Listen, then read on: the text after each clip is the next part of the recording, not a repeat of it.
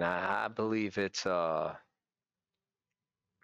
a necessity, amen, that, that we need to be led. Praise God.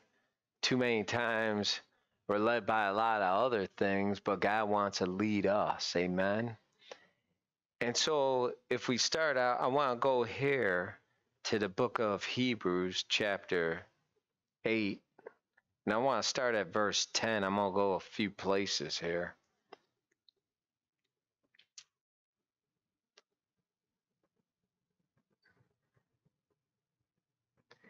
And then it's verse 8, chapter 8, verse 10. He said, For this is the covenant I will make with the house of Israel after those days, saith the Lord. And he's saying after those days, after actually the covenant, after those days, really he's talking about when Jesus dies and rose again. Amen. And he says, I will put my laws. And when you think of laws, you're not just his teachings, his instructions. Amen. In their mind and write them in their hearts. Well, how will he write it in our hearts? Well, he said, if any man be in Christ, he's a new creature. He'll, he said that how he'll give us a new spirit. Amen. A new heart within us. And he says, and I will be to them a God, and they shall be to me a people, and they shall not teach every man his neighbor and every man his brother, saying, Know the Lord, know him. But he says, For all shall know me, from the least to the greatest. Doesn't matter what position you're in, doesn't matter really how old you are, you know, because he said in the last days, he's going to pour out his spirit upon all flesh in Acts, actually, chapter 1. And he said the daughters, the young men and daughters, shall what? Prophesy. Sons and daughters shall prophesy, young men shall see visions, and old men shall dream dreams. And he said, On the handmaidens, and them they'll prophesy. So from the least even to the greatest, God can God says they'll know me. Amen. They'll have a relationship with me. And that's what the Lord wants. He wants us to know him like Adam knew him in the garden. Amen. He walked with him in the garden. And so when we see this in the old covenant, we, we talked about quite a few times, but in the old covenant, right in the beginning, before man fell, God walked with man. Then after man fell, God dwelled with man. But then after Jesus came, he was with man. Amen. He was saying, Emmanuel, God with you. But then when he died and rose again, he's now in man. Amen. So he lives within us. That's why he says that, you know, in the if you go to the book of John, I believe it's chapter 14, he says this. He he says here, let me see, um I believe I know it's here in 14, but he says this that um in verse 17 or 16, he said, I will pray the Father, and he shall give you another comforter, that he may abide with you forever. Everyone should say forever. Because that's where the Lord said, I'll never leave you or forsake you. He said he wants to abide with you forever. And he says, even the Spirit of truth, whom the world cannot receive. Why is that? Because it seeth him not. See, they want to see it to believe it. But the Holy Spirit you don't see, just like air you don't see. Amen. You can know the effects of what he can do. You can sense what's going on within you or around you. But he said, You're not going to see him, neither knoweth him, but you know him. For he dwelleth with you, and what? He shall be in you. See, under the old covenant, he dwelt with them. It was God dwelling among them. Amen. The Spirit of God would come on them at times around the king, King David. The Spirit of God came upon him. We talked about Samson, how the Spirit, when the Spirit of the Lord came upon him, he got strong and mighty in the things of God. That was the Holy Spirit coming upon them. They didn't have the Holy Spirit in them. I've heard people say that. They said, oh, the Holy Spirit was living in them. No, the Holy Spirit lives in us now. He came upon them when he would anoint, when they would be anointed, but he didn't live in them. Amen. He just, God dwelt among them. That's why they had the tabernacle. That's why they had the Ark of the Covenant. That's why God was behind the veil. And when that veil was torn from the top to the bottom, when Jesus died and rose again, what happened? The Spirit was let loose from there. Amen. He wasn't no longer hiding. God wasn't behind it because he couldn't, man couldn't be with them. Amen. Like continually because he can't dwell among sin. And there was a proper way for man to go before God. They had to go with blood, they had to be holy and clean and everything before you even enter into the holies of holy. Otherwise, you die. And if you want to look at it, you go to go to the book of uh, First Samuel when they thought the Philistines could take the Ark of the Covenant. Oh, God didn't have to use man to fight for him. God's holy.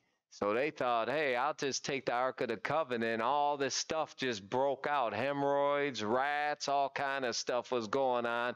People were dying. They said, listen, we can't keep this. Let's uh, take a bit, put it on a box and put some cattle. And then if the cattle go straight, we know this is God. But if they go crooked and all that, we know it wasn't. And that thing, they put some gold goids on there and everything to bring an offering to God. One they'd even know. But they learned real quick that he isn't to be played with like that. and so they said, we can't even keep him in our camp. Let's let him go. So they put an offering and the cattle were even smart enough the cows to go and take the ark to where it was supposed to go and they saw them come over the mountain while they were in the field. They said there's the ark and then they were uh but you know there was a reverence there. Amen? So we're, we're going to talk a little, a little bit about being led. Amen? Because he said he dwelt with them but he said he shall be what? In you. Amen well, Father God, we thank you for your words this day. We ask you to give us understanding. We ask you to open our eyes and ears, Father God, to hear what your Spirit have to say to us, Father. We thank you for helping us, edifying us, teaching us, and guiding us. We give you the glory. We give you all the honor and praise. And we thank you, whatever gifts. We thank you for your manifestations of your Holy Spirit. And we always give you the honor, the glory, and all the praise for it. In Jesus' mighty name. Hallelujah. Amen and amen. So here in the book of Galatians, I'm going to go to chapter 5 and read in verse 1 and then we'll drop down. Amen? Because i'm going to go a few places just to share about the word here about being led. But he says in the amplified i want to read it a little different. It says in this freedom christ has made us free and completely liberated us. Where the spirit of the lord is there's liberty. Amen Christ didn't take us out of the world to bring us back in bondage. A lot of people, before they come to Christ, they're counting the cost to see whether I want to come to Christ because I'm going to have to give up stuff. Well, you know, when you come to Christ, the stuff you had anyways wasn't doing all that good for you. Because if you want to come to church, you want obviously something's going on in your life that you need to give up. But some people, when they hear it, they're thinking about all these different things that are going on and they're counting the cost like I have to give it all up. When you come to Christ, Christ will give you a new heart where you want it all away. Unless you're at a point at wits ends where you're like, man, I can't take my life no more. I'm down to the bottom. You ain't got nothing to lose.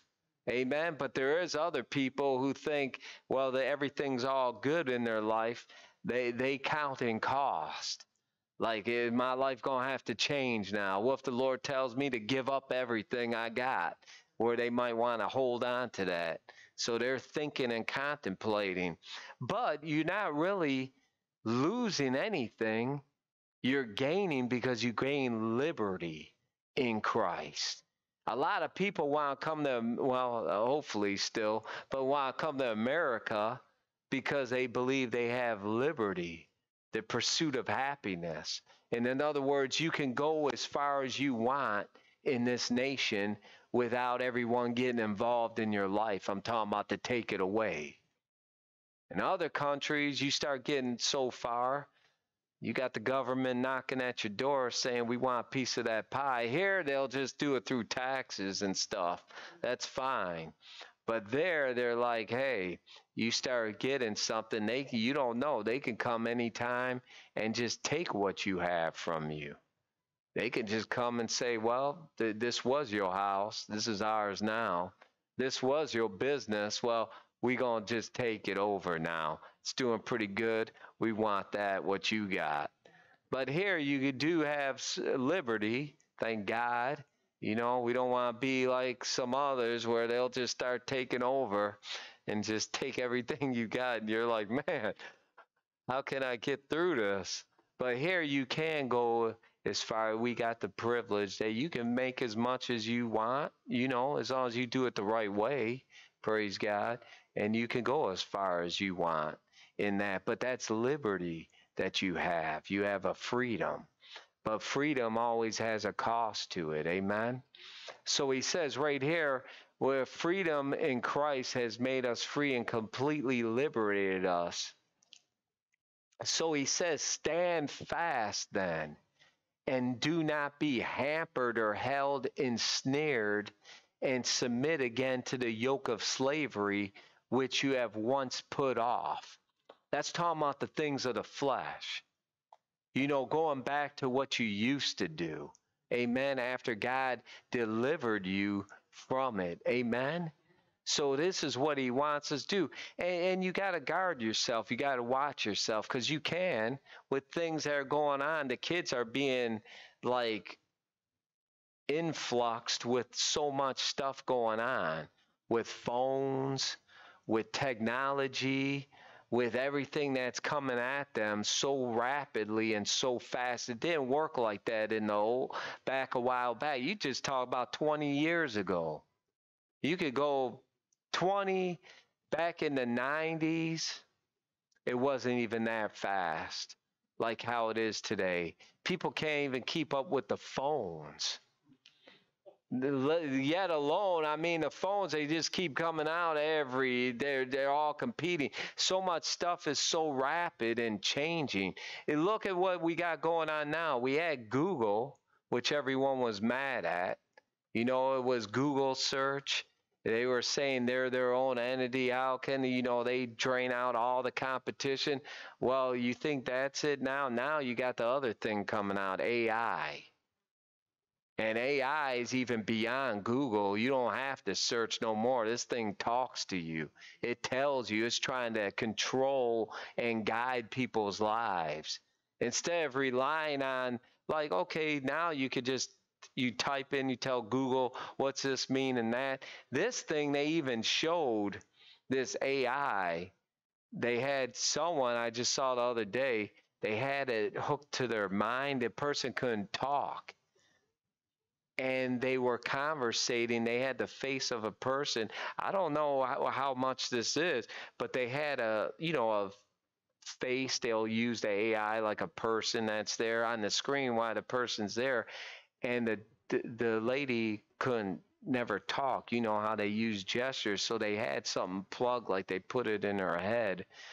And then they'll say, What time are you coming home? And the thing would speak through the TV and it was and she would look and laugh because the thing was actually saying what she wanted to say but it was working through it to speak through the tv so she the the the man could understand her. I don't know if it was his daughter or wife or what but uh, it was talking and then said are, are you going to be late or uh, what time will you be back? And ask and he can talk back. And this person couldn't even talk I mean, this thing's becoming like, I mean, it's like a self developing computer that does it. And It was made a while back, but it's something that evolves. It, it isn't like a total, I think, owner of it.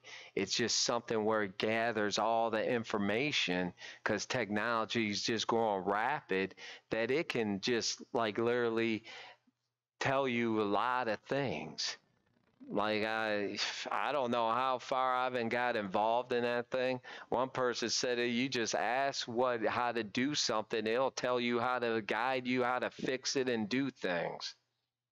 So it's eliminating a lot of stuff where people can become reliant on what it does to help.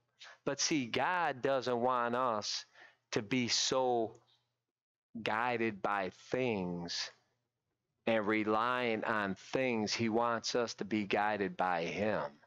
Amen. So he tells us to stand fast in the liberty wherewith Christ has made us free. Amen. Because the world, it's moving quick and knowledge is increasing very rapidly, like never before that we've seen. Things things are going to be changing so rapidly. I mean, they got the computers in your cars. They want to put it in your homes. They put it in your hands. They put it wherever you got. You got something that's there. That's some type of technology. Like uh, Google, it used to be maps. I remember just looking at a good old map and looking at how to get to where we need to go.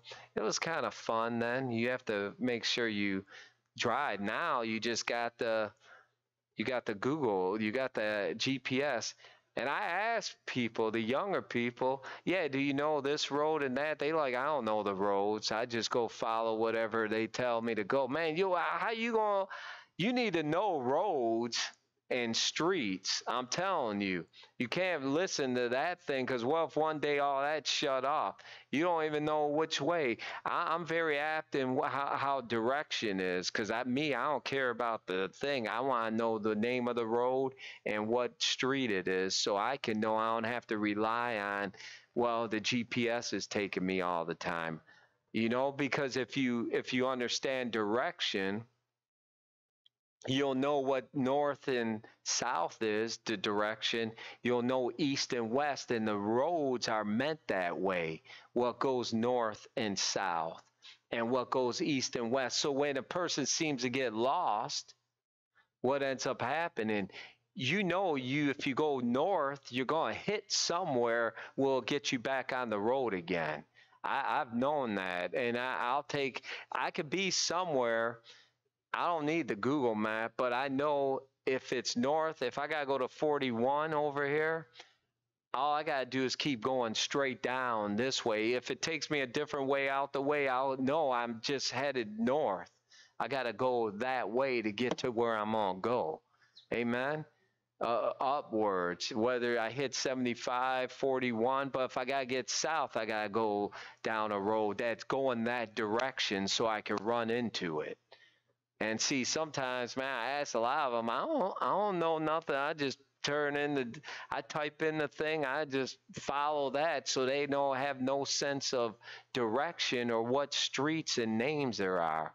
It's like people today, if you ask them, well, what's their phone number? I don't know. Let me look on, everything's on the computer. Well, what's their name? It does does the phone tell you their name too? Because if you don't know that, you want to get acquainted with names just like streets, amen, and people.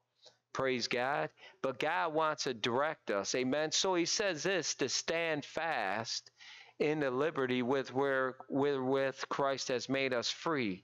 And he says this, we'll drop down to 16 in the amplified. I want you to see something because I'm just opening, but we'll get into this. He said, But I say, walk and live habitually. You know, not just certain times, but he said habitually in the Holy Spirit, responsive to and controlled and guided by the Spirit. He said responsive to, meaning you're being responsive, you're being alert. Amen. Controlled, not in a way that, you know, you're under dominant power. Nuh-uh. Being controlled where you allow him. You give him the right to go ahead and lead. Amen. And guided by the Spirit. Then you will certainly not gratify the cravings and desires of the flesh, of the human nature without God. See, when you when you allow God to guide you, then you're not giving room for your flesh to guide you. You know, when people don't got nothing to do, where are they going to give into? The cravings of the flesh. Like if I ask you working, you doing if they ain't if a man ain't got no job or nothing, what what are you gonna do? Because God told man in the beginning to do something.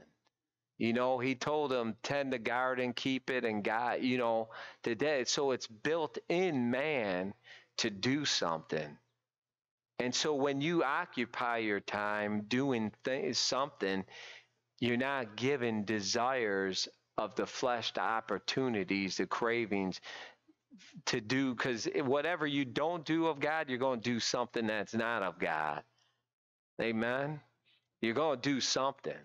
I don't know whether it's sitting around watching television all day, doing the phone, or wow, some people sit on the porch, watch everybody, whatever it's going to be.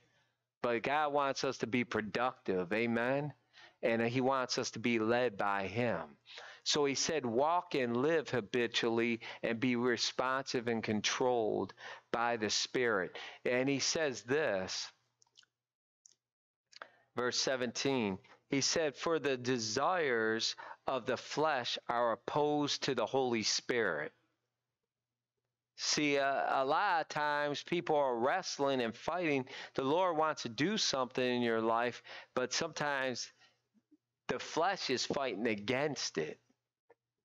And he says that's why we, when we stay in tune with God, we read to get in the Word.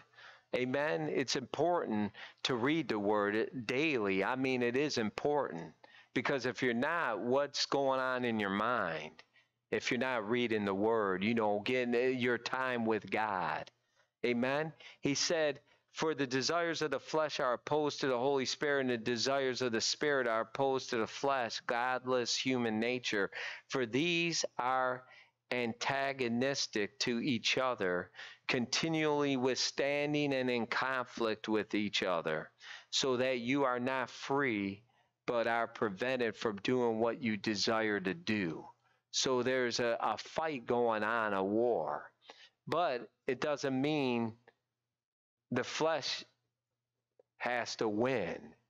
Amen? Because the flesh is already dead. Praise God. Because when you accepted Christ, the Holy Spirit lives in you. He's alive. It's learning to be led and guided by Him. So he says this in verse 18 but if you are guided and led by the Holy Spirit, you are not subject or under the law, meaning a bunch of works of the flesh. Amen? So the word this, to be led, means this. I'm going to read a few things. The New Testament word means a go. Amen? It means a go, A G O. That means led means to be led or leaded. Amen. What's lead? Lead is short from leader. Amen. A leader leads. So if there's a leader there in front of you, like you got uh, Boy Scouts, they got a, a leader or Girl Scouts, they're to lead the children. Amen. They're there to be a guide, or you're at a zoo or whatever, you're a tourist, you have a guider. Amen. It means same thing, guide, lead. They're there to guide you, help you in which way you need to go. Amen. They know the route to take. They already been there, so they work around the area. They know where you need to go. Amen. So you don't go off somewhere, get eaten, bit by an alligator, get slayed by some lion if you're on a safari. Amen because you have a guide with you. Amen. You don't want to get trampled on by a giraffe, get hit by a rhino or something at the truck, but you want a guide. Amen. So they can help you go the right way and know where to take you. Amen. That's what the Holy Spirit does in you. He's your guide. Amen. He's not there to lead you to danger. It may look like it sometimes that you'll go, but the Lord's with you. He wouldn't take you somewhere he hasn't been, and he won't take you somewhere where he won't be able to help you. Amen. He led Jesus when he went to go be baptized by John the Baptist, his cousin, and then he came up out of water. He saw the Holy Spirit descend upon him like a dove. And then after he fulfilled everything he was supposed to, do, what did the Holy Spirit do? It said right there in Luke 4, it said he drove them into the wilderness. Now, does that look like a place you want to go all the time? Nah. But there's a purpose why he did that. It was to fulfill something. Amen? Because because God took the children of Israel in the wilderness and they were supposed to go what? They were there 40 years. Jesus went for 40 days to overcome what they couldn't overcome. Amen? To give them victory, what they didn't get victory out of. Amen? So he went to defeat that for us. And he went in the wilderness also to be tempted by the devil, like Adam was tempted in the garden, but he showed he had the victory. Amen? But uh, you know, he led them there, but he was showing them greater is he that is in you than he that is in the world. So you don't have to be afraid if the Lord takes you somewhere. He's with you. He won't ever leave you or forsake you. So he's called a guide. It's also called being driven, which we just saw that Jesus was drove into the wilderness. It also means to be carried or to bring forth. There's another word that it also means. It means to be induced. Induce means this to be persuaded or influenced influencing someone to do something. It's persuading or influencing someone to do something. You know what the Holy Spirit does? He wants to influence you and persuade you to do something that he has you to do. That's what grace means. Grace means God's divine influence upon your heart. So when the Holy Spirit comes in you, he influences you. That's what it means. He eh, he it's an induced, but it's an influence in your heart. I've had a time when I was younger in the things of God, I had a time where he'll keep saying it over and over and over again because he wants me to know his voice. He's influencing me and he's persuading me to do what he's asking me to do. Amen? So when you persuade someone, what happens? You keep asking them, you keep telling them because you want to persuade them to do this for the right thing. Amen? So you keep telling them and tell them the Holy Spirit will do that in your life because he wants to influence you to go the right route. Amen. In the Old Testament, the word lead, because I'm about to go and show you some scriptures, it says it means darak. It means to walk, to tread. An archer, like one that shoots a bear, a bow.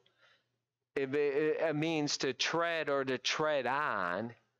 It also means an archer to string a bow by bending.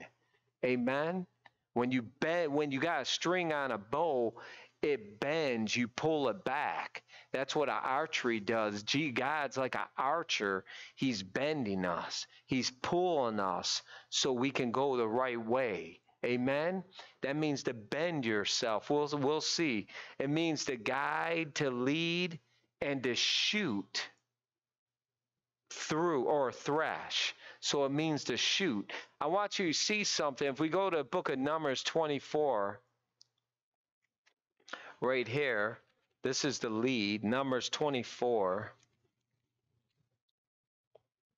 And verse right here, verse 16 or 15. He said, This is time where Balaam was talking to Balak Balaam was the one that we know the story if you was ever in Sunday school and all that, where the donkey talked to Balaam. They call him the dumb prophet. Well, it said he was dumb because he wasn't listening to God and he wanted to go do his own thing. And the Lord told him, Unless I tell you in the morning to get up and go, then you go. He didn't tell him. The guy, the man said, Hey, I'll give you some money and all that. And he got up and he went his own way. And then an angel was sitting there with a sword, and the donkey had sense enough to move out the way. The man couldn't even see it or understand it. And the donkey was trying to save his life. And then he finally flipped himself to the ground, and the guy began beating him, Balaam. And he goes, You dumb donkey, why didn't you take me? You know this? And he goes, Then God had to open his mouth, say, Why you beating me? He goes, I've been with you since I was little. You raised me up, and I have I ever led you wrong? And then he's like, No. And he goes, I'm trying to save your life. There's an angel right in front. You know, I'm me paraphrasing. There's an angel there is ready to kill us. And then God opened the Balaam's eyes. And then he saw what? The angel. And then he was real repentant.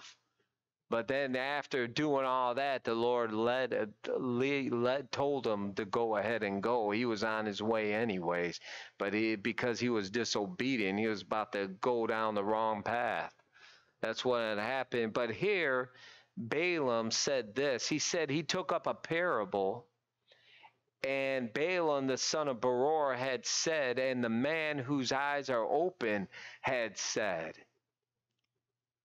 He had said which he heard the words of God and knew the knowledge of the Most High, which saw the visions of the Almighty falling into a trance. Verse 24, Numbers 24, 16. But having his eyes open. So he fell into a trance and his eyes were still open. In other words, God, you could be you could be like this. I could be talking, the Lord begins showing me something, even though my eyes are open. That's falling into a trance, and he begins seeing what the Lord's showing him with his eyes open. And look at what he says. I shall see him, but not now. And I shall behold him, but not nigh or near there shall come a star out of Jacob, and a sceptre shall rise out of Israel, and shall smite the corners of Moab, and destroy all the children of Sheth. He says this, go back. He said, There shall, he said, I shall see him, but not now. I shall behold him. That's the word lead. I shall behold him, but not now and there shall come. See that word? He's talking about there's going to come a time, there's going to shoot out a star out of Jacob. You know, they talk about shooting stars. Well, this word means shoot or lead. There shall come a star. There's going to be a star that leads out of Jacob. And if you go to the book of Matthews, what happened? The wise men knew about the star that was going to come. And what happened to the star? The star led them to where the child was. That was under the old covenant because God was on the outside leading them. What ended up happening? The angel, when they were coming before the Red Sea, an angel went before them Amen. It was all on the outside. It wasn't something working on the inside live. It was on the outside. He was leading them. And then when they got to the Red Sea, he came behind them. He was their rear guard, and there was a fire that was there to keep the enemy, Pharaoh, from the children of Israel. Even though they were afraid, I mean, if you saw a big old fire, you shouldn't even be afraid. You should be waving over to them. Hey, what's up, Pharaoh?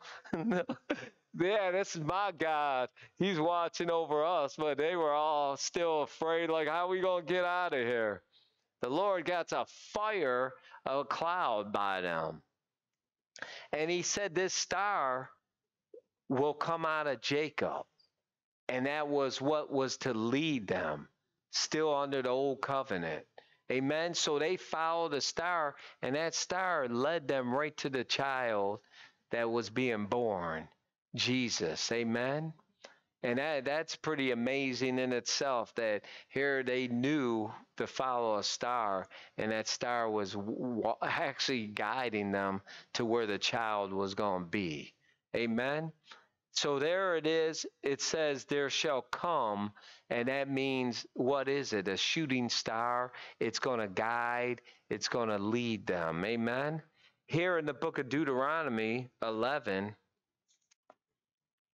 says this. This is the word, it means to be led. Amen.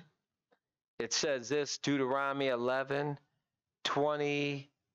Look at this, 20. Uh, 22.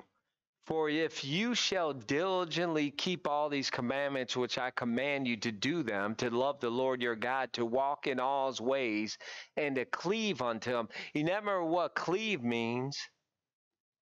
Like a, a man shall leave his mother and father and what? Cleave to his wife. He wants you to cleave to the Lord like you would cleave to your wife. Amen? So cleaving means to be glued. It means to be glued to them. Amen. That that's what cleave is, is to be glued together. Is to be like entwined or tangled together. So he said, You're to love the Lord your God, to walk in all his ways, and to cleave unto him. You hold on to him, you're with him. Amen. Like if I have Pastor Sozi here, he said she could stand up. Look, he said, You'll leave your mother and father, and what will I do? I, will cleave to my wife. and then, what's it called?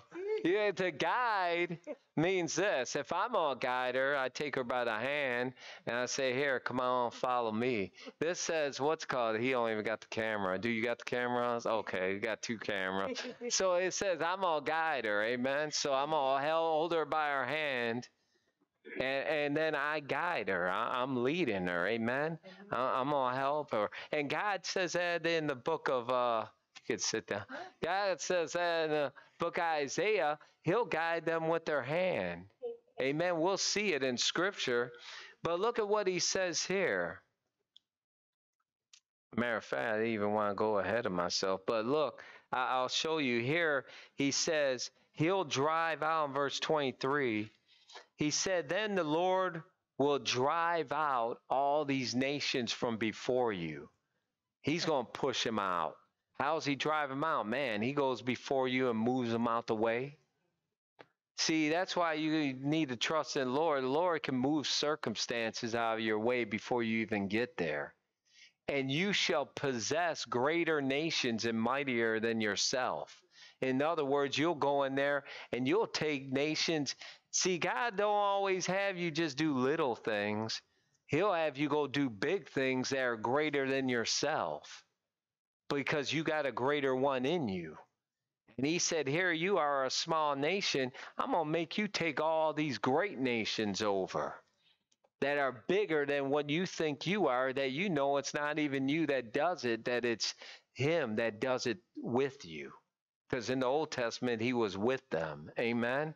He wasn't in them yet, but he was with them. He dwelt with them. And look at what he says this. Or every place whereon the soles of your feet shall tread. That's what lead means to tread, shall be yours from the wilderness and Lebanon, even from the river, the river Euphrates, even unto the uttermost sea shall the coast be. And look at what verse 25 says. And there shall no man be able to stand before you. The Lord your God shall lay the fear of you and the dread of you upon all the land that you shall tread upon, as he had said unto you. See, that's just showing you here the Lord's with you, and the Lord has the devil afraid of you. Because, see, the Old Testament, it was people the enemy was using, but today, in the spirit, the devil, he's afraid of you. So when you are led by God, you're actually treading. He's leading you to tread. You know that thing where it says tread on? It's that the Marine. They got the serpent, huh? Yeah, yeah. Well, it tells them don't tread on you. You tread on the enemy. Amen. And what's that? Meaning you're being led to go forth and nations become afraid of you, but you tread on them. Jesus said the same thing in the book of Luke. He said, Every place that the soles of your feet shall go upon or tread upon, I've given unto you. Amen. And he said, No evil shall befall you, or he said, you, he said, you won't even have to worry about because you nothing shall harm you. But he said, Every place that your feet shall tread upon, I've given unto you. Amen. God, Jesus said the same thing. Wherever your feet tread, because why? In the new covenant, he's in you. Amen. You are Jesus' feet. You are his hands, you're his body. Amen. So whatever tries to come against you, it comes against the head, which is God, Jesus. Amen. Because you're his body. What's there to be afraid of? Because you're the body of Christ. Amen. You, each part is a member, body part of Christ. You're in him. And so he says this, you'll tread. That's one of the words of lead. Here in Psalms 25, in verse 5, this means to be led. Amen. To be guided. We're going to see. Look at this. 5 through 9, it says, Lead me in tr- thy truth. What's that? The word. The Holy Spirit is the truth. Amen. We'll worship God in spirit and in truth. And teach me so lead me in truth and teach me. For thou art my God of my salvation, and on you do I wait all the day. Remember, O Lord, thy tender mercies and thy loving kindness, for they have been ever of old. Remember not the sins of my youth, nor my transgressions according to thy mercy. Remember thou me for thy goodness' sake O Lord. Look at that. And he says here, good and upright is the Lord. Therefore, he, therefore will he teach sinners in the way. Amen. He'll guide them in the way. The meek will he guide. There it is again. Guide in what? Judgment, in justice, to be able to do justice. Amen to do, do, do he talks about justice where you're able to do judgment you just you judge what the fatherless amen you help them praise god those who can't help themselves and the meek will he teach his way so he'll lead you and he'll teach you and he'll guide you amen he wants to be a guide to you. Praise God. The Holy Spirit's there in you today. Amen. Back then, He was guiding them because He actually went before them. He, he said, My angel in the book of Exodus 15, He said, My angel, or Exodus 23, He said, My angel will go before you. And He said, Don't try transgress against him for he won't forgive you but he was saying his angel was going right before them and he was taking them before nations amen he had the angel right there a big one too So here in Isaiah, we're reading one more here. Isaiah 52 says this in verse 9. It says, Break forth into joy, sing together, ye waste places of Jerusalem, for the Lord has comforted his people, he has redeemed Jerusalem. The Lord has made bare his holy arm in the eyes of all nations. How did he make bare his holy arm? Well, who's his arm? His hand is Jesus. Amen. His right hand. His arm is his people. He he's flexing, amen, his strength in the sight of all nations. Amen. That God is strong. He could take out the nations before him. Amen. He came to conquer nations. And then and the ends of the earth shall see the salvation of our God. What he do? He made bare his holy arm in the eyes of all nations. If you think about it, Jesus was on the cross. He made him bare before all. That wasn't just only his hand, he said his whole arm. On the cross, he made him bare. He wasn't there like with clothes on, he was bare in front of them all, but that was also his holy arm that all nations would see what he did. But what? All the ends of the earth was going to see the salvation of God on that cross. Amen. And they saw it because he died. And what he do? He showed his strength. He rose again. They couldn't keep him down. Amen.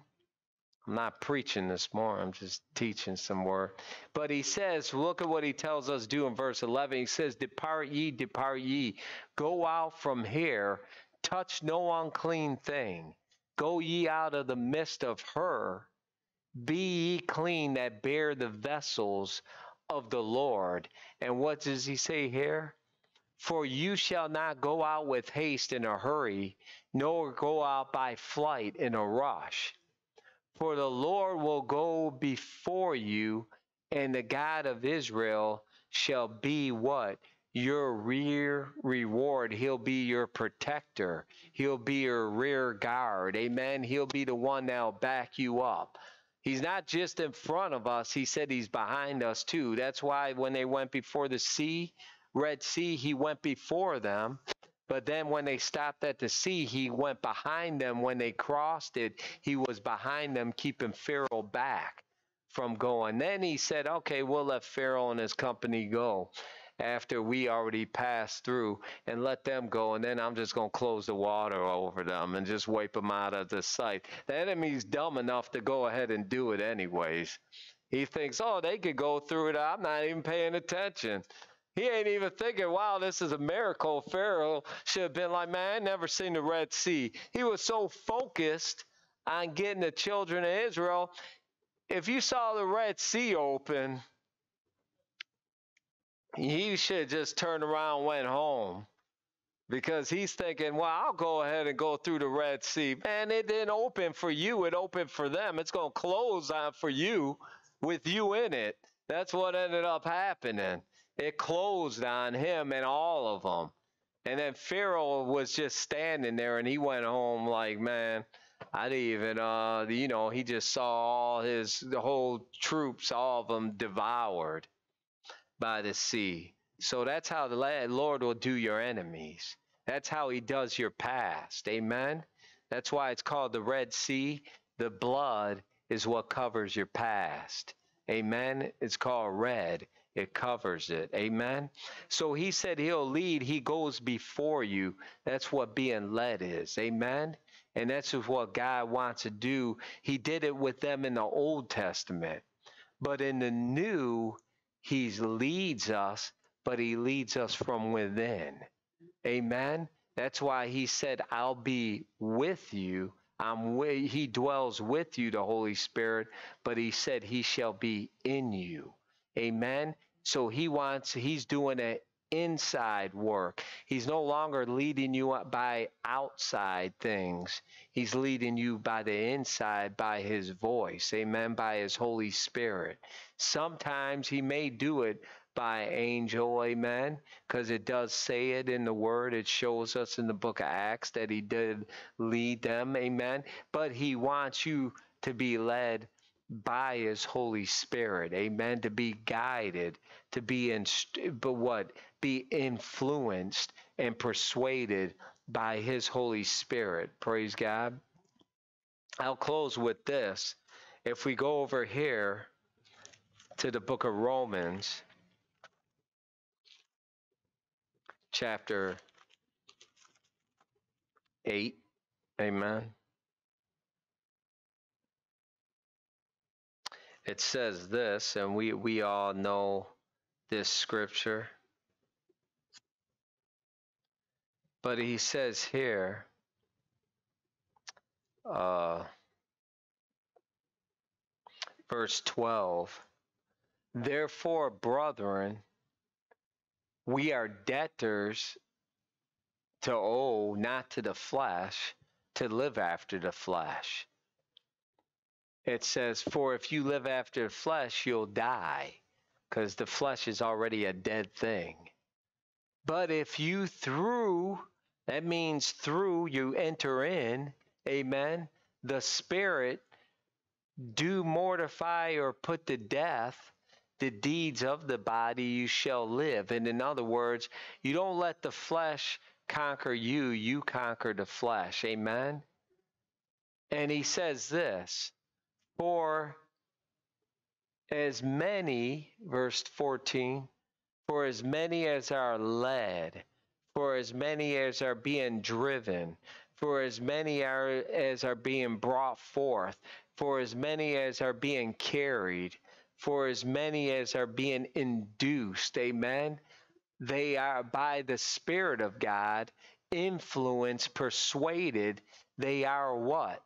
The children of God. Amen. So he, and we'll, we'll see what it is to be led by the Spirit. Praise God. We're going to go more into Galatians, but I just want to just cover this part real quick, and uh, and then we'll close. What what's it mean to be led by the Spirit? It means to be led for direction. Go here to Mark chapter one. Look at this. I'm just going to read this real fast, these three things, and then we'll finish. We'll go and continue next week. But here in Mark chapter 1, it says this in in verse uh, 33 it says in all or verse 32 and at evening when the sun did set they were brought forth unto him all that were diseased and them that were possessed with devils. And all the city was gathered together at the door. And he healed many that were sick of divers diseases cast out many devils and suffered not the devils to speak because they knew him.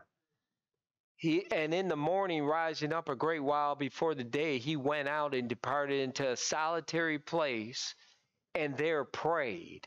Amen.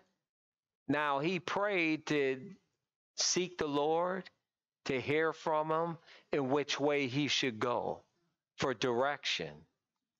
And when they had found them, they said unto him, All men seek you. And he said unto them, Let us go into the next towns. How did he know that? That means to go. The power of being led is to be going. Amen. He said, Let us go unto the next towns that I may preach there also, for therefore came I forth. And so he led them to go to the next town. He could have stayed where he was at, but he went to pray and hear from the Lord, and he led even the disciples to where to go. He still leads us today. He told them, Let us go into the next towns. He's going to tell you, Let's go here for direction. Amen. I'm not talking about GPS. I'm talking about the global positioning system within you, which is the goal, global Holy Spirit. Amen. The positioning you to go where He's directing you. So He He's the positioning system. Amen. He wants to position you where you need to go in your life. Amen. So the Lord spoke to them. He's still speaking today with you. Amen. For direction. This is also for uh, providence. Look at this in Matthew's 21, verse 1. Look at what he says here. And when they drew near unto Jerusalem, they were come to Bethany unto the Mount of Olives. Then send Jesus to then send Jesus two disciples. And what did he say? He says this, saying unto them, Go into the village over against you, and straightway you shall find an ass tied and a colt with her. Loose them and bring them unto me. This is provision. He told them to go into the village over. Look, go back. He told them to go to the village over against you. He, they knew where that was. And he said straight away. That means immediately. When you go there immediately, it won't be you'll be waiting there a long time. He said immediately you'll find a donkey tied and you'll find a colt, a little donkey with her. Loose them and bring them to me. Amen. He said to loose him, and what does he say next to him? He said, If any man say anything to you, you shall say the Lord has need of them, and immediately he will send them. So he said, as soon as you go there, immediately you'll see it. Immediately they'll let you have them. Amen. And what happened? He says that right here, verse 6. And the disciples went and did as what? Jesus commanded. That's a charge. Amen. Commanded them. They went what he told them say. Just because you don't see Jesus physically to tell you what to do, he's going to tell you within you and tell you where to go. And what happened? When he commanded them, they did it. And look at what happened. Verse 7 and brought the ass and the colt and put them on their clothes, and they set them set him thereon. Look at that. That was provision. He told them to do that, and they did it, and things took things happened the way he said it. See, if you just be led by the Lord and do what he says, you'll see things take place. Amen in your life. I mean, you're looking at it as reading, well, that's Jesus physically there. Okay, the, he was with them because they could physically see him, but now you got him within you.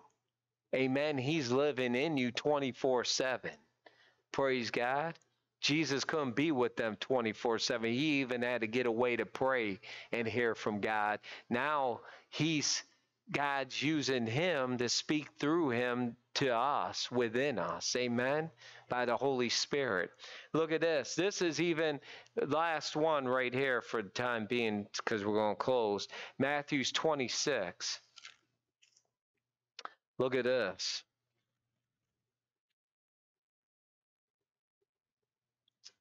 This is um verse 40.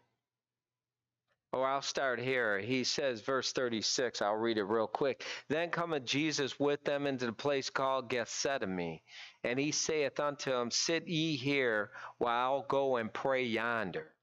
And he took with him Peter and the two sons of Zebedee, and began to be sorrowful and very heavy. That then saith he unto them, My soul is exceedingly sorrowful, even unto death. Tarry ye here and watch with me.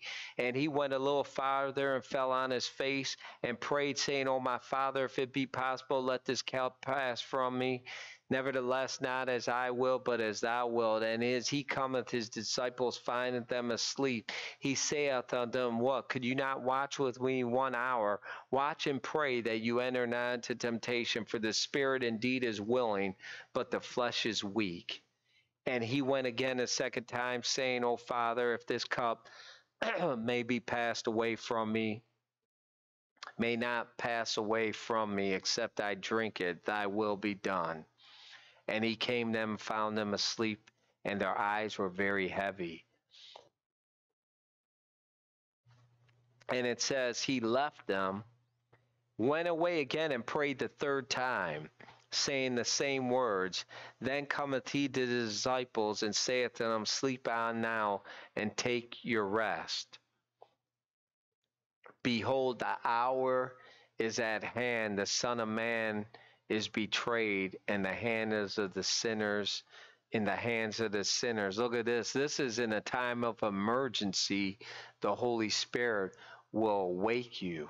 He'll tell you when it's going. What does he say? He said, Rise, let us be going. See, that's a quick thing. The, you could be somewhere, the Holy Spirit will quicken you and say, Do this now. Go here now.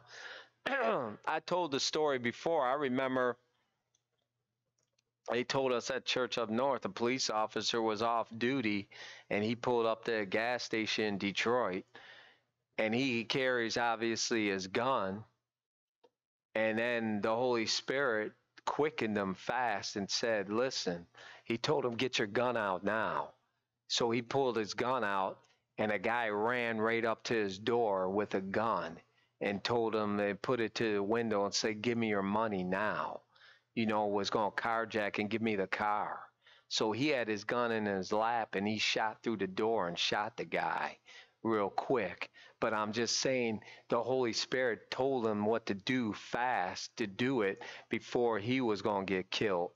You know, so it was an emergency here. Jesus told them to rise up and let us be going. Behold, he is at hand that does betray me.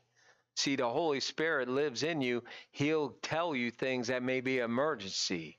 Don't go there. Don't do this you look at testimonies at time of 9-11 you could see what happened some people that were supposed to go to the building never went there was testimonies of people who never missed a day of work in their life and somehow they couldn't get on the train or they missed a train they woke up late sometimes see they were in deep sleep the lord can put a deep sleep on someone he did it with adam he did it with saul so David could go to him. But sometimes put you deep sleep to keep you from doing going somewhere where you're not supposed to go. You don't know what goes on before God does. Amen. At that time, I won't mind being late to work. Praise God. Because, hey, that one's a good excuse. But some people missed their flight. They missed a lot of things that transpired. And there was people that were even there that were able to get out too. You know, so a lot of people always focus on all the other sides, but the world ain't going to tell you how people escape, how they knew the Lord and the Lord did this for them. They just want to focus on all the bad stuff, you know, that goes on. But obviously, we celebrate the people who did things. Amen. But God wants to guide you, He wants to lead you. Amen. In whatever direction or path that He has for you, He wants to be your leader to lead you in the way we should, which way you should go. Amen. And He has a voice. And he said, A stranger you won't follow. Amen. So we're going to close and we'll continue some more because we're just getting into this. Amen. Praise God. Hallelujah. Father, we thank you for this time right now. And Lord, we thank you because your desire is always to lead your people. And you said you'll never leave them astray. You said you are the sheep of your flock, the shepherd of your flock. We are your sheep and you made us, we didn't make ourselves. And Lord, if we missed it anywhere from hearing your voice, today we want to repent. Because you don't haven't yet stopped speaking. You're the God who still speaks. And you said your Holy Spirit shall be in us forever. Amen. You said He's our teacher, and He'll guide us. Lord, we thank you for today to speak to your people. We pray right now that sensitivity will come, that they'll be able to hear your voice, Lord, and be led by you. Led by you to do something to go somewhere, to say something, hallelujah. Thank you, Father. To not go somewhere, to not do something. Thank you for leading them, Lord. In the name of Jesus.